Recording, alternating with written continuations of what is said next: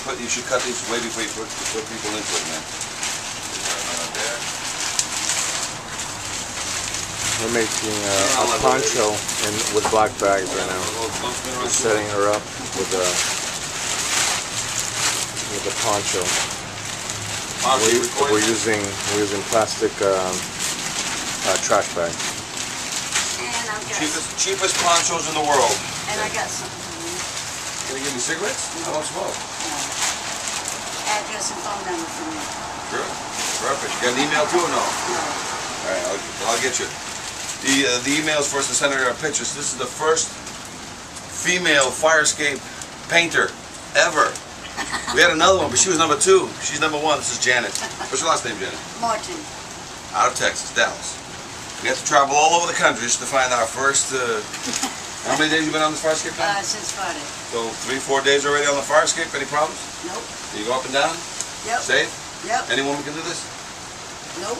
No, not any woman can get on Nope. fire escape. Not any woman can do construction. That's a good point. But can most women do it if they like construction? Yeah. There you go. Very good. If They're willing to try. If they're willing to try. This is uh, nothing. If a man can do it, a woman can do it. Right. There you go. All right, now head up and see, you guys. This is all you need to keep uh, the um, Now most going of the to the body. second floor, right? Yeah, just relieve uh, release the elevator system, the rope. Okay. And make sure the plug is plugged in. You know, we got power. Okay.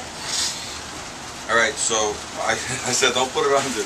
You know, It's a good size for him, I think. No. you like it all the way down to your kneecaps. All right. Turn around then. You like uh, this is one of those cheap ponchos, as you can see, already made, and it's the right color. So um, what's important is that we're going to be. As soon as you get men wet, they start getting a little, you know, demotivated. So you got to keep everybody. The other thing too, I recommend highly get a hat on, because the hat's going to keep the wetness onto your shoulders um, and keep your head from getting wet. So get your get your white hats on. And uh, same thing for you. Once you come in here, make yours your suit. Uh, the only thing I don't like, again, I think this is uh, this is actually going to be too long. So let's get yours cut and uh, no, cut it before. So look at your length. You know, that's going to be your shoulders. You want it right about here. So you got about eight inches to cut off here. So grab your scissors and make it slice just about that much off. Did somebody grab the scissors?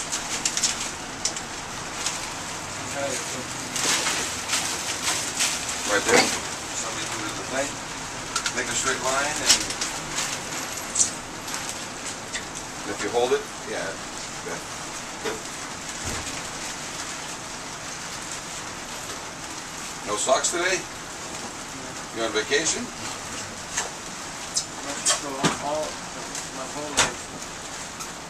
All right, so we got quite a bit of work to do today. Not everybody showed up. We got rain.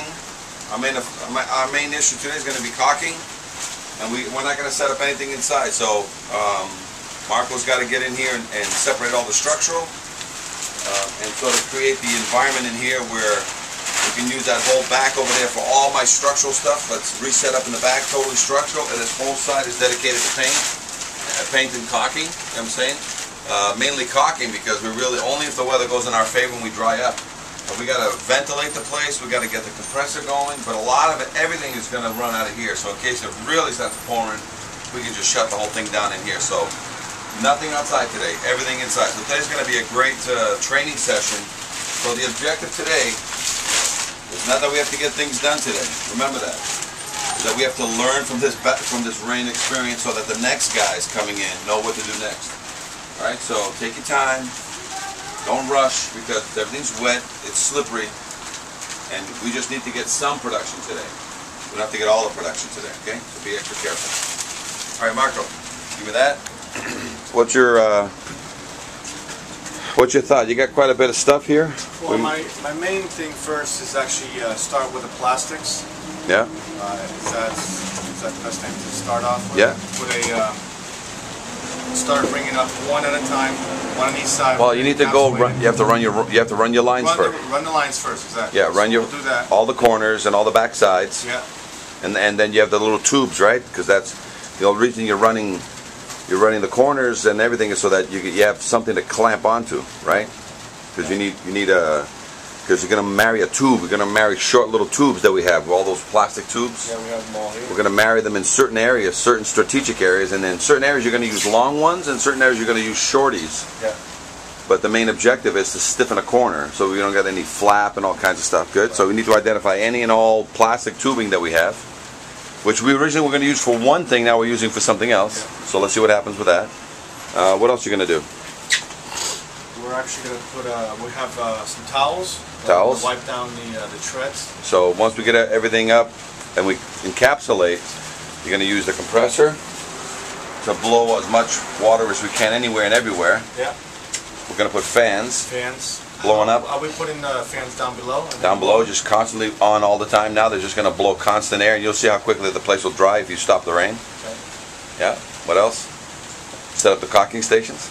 Yeah. You've got a lot of caulking along the walls. The, the. You got, you got towels and stuff. You know what I'm saying? Yeah. So you guys can start already the process. You don't have to, we're, we're just talking. You guys know what needs to be done, so.